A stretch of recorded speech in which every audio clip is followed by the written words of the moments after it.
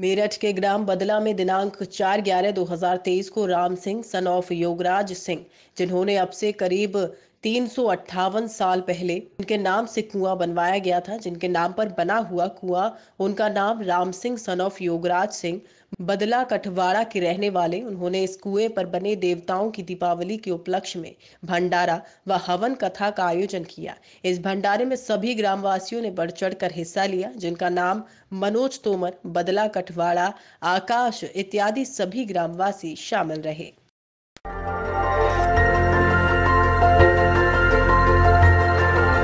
देखते रहिए डीबी भारती समाचार नज़र हर खबर पर।